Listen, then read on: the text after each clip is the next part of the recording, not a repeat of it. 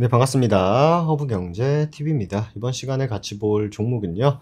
우리 서진 시스템 같이 한번 보도록 하겠습니다. 오늘 하루도 우리 또 서진 시스템 주주분들 굉장히 수고 많으셨다라는 말씀을 또 드리면서 시작을 또 해보도록 하겠습니다. 아, 우리 서진 시스템이 아, 오늘 뭐 어쨌든 간에 오늘 시장 전반적으로 반등을 만들어 줬죠. 예, 뭐 전반적으로 사실상 뭐 반등을 준 그런 또 시장이었기 때문에 어 오늘 뭐 하락한 종목이 별로 없죠. 뭐 하락한 종목도 있긴 한데 뭐 그렇게 뭐 제 관심 종목 창에는 하락한 종목이 뭐 거의 없습니다. 예, 별로 떨어진 종목은 없는 것 같은데 뭐 어마한 거 떨어졌겠죠. 예, 뭐 오늘 같은 날 못 올라가고 떨어진 종목은 안 보는 게 맞습니다. 안 보는 게 맞고 어쨌든 간에 조금 아쉬운 부분은 하나 있죠. 어제 투매를 시작한 게 1시 반, 2시 반, 뭐 이쯤 됐을 때예요. 1시 반, 2시 반 이때입니다. 네, 패닉셀이다. 이런 걸 여러분들 패닉셀이라고 하는 거예요. 남들 던지니까 그냥 무르르 막 던지는 거 그냥. 그런데 어제 하락의 시작은 여기였어요. 지수도 마찬가지예요. 네. 하락을 시작한 구간까지만 반등을 줬습니다. 그러니까 즉 이거는 냉정히 뭐예요? 기술적 반등에 지나지 않다라는 거죠. 네. 기술적 반등에 지나지 않다라는 겁니다.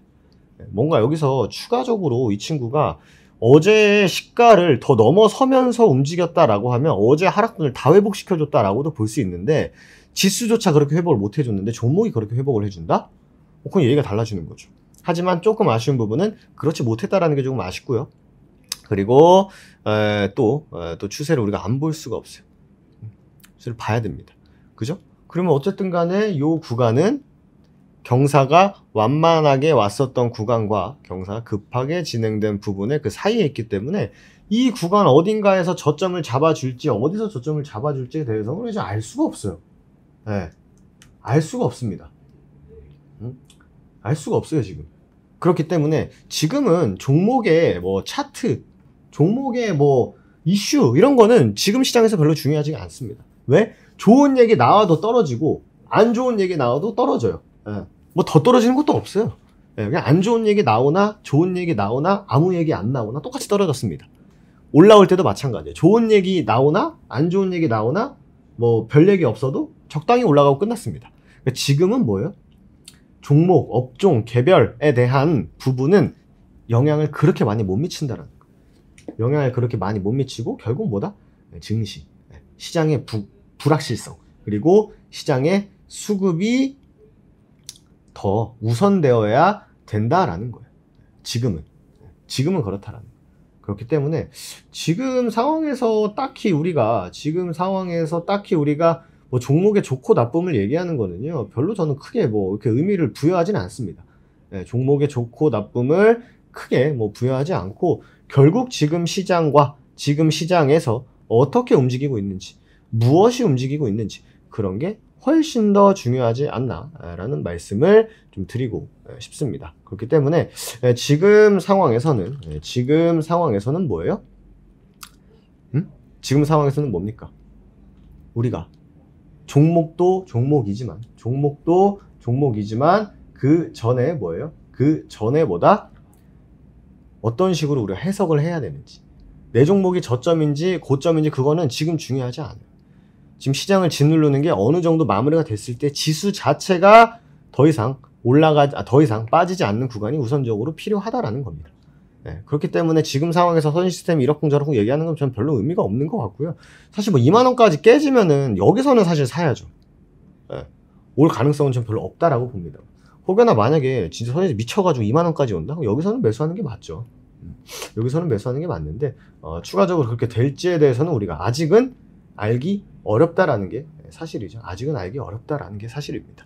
그렇기 때문에 말씀드린 대로 지금 우리가 우선적으로 행해야 하는 것은 현재 상황에 대한 분위기가 우선적으로 선제돼야 된다. 어느 정도 확실 불확실성이 해소가 되는 게 무엇보다 더 중요한 부분이다라는 것을 여러분들에게 말씀을 드리고자 합니다.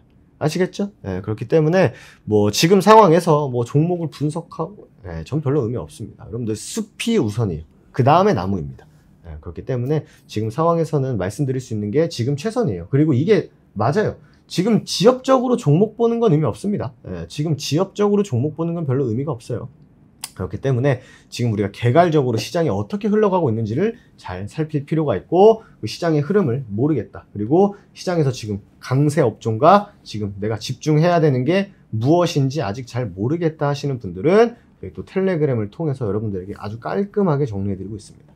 오늘 어떠한 이슈가 나왔고 어떤 업종이 움직이고 있고 그 업종의 관련주는 무엇이고 대장주가 누구며 우리는 어디에 집중을 해야 된다와 같은 얘기들을 여러분들에게 정말 깔끔하게 장중에 일목요연하게 정리해서 여러분들께 말씀드리고 있고 그리고 추가적으로 뭐예요?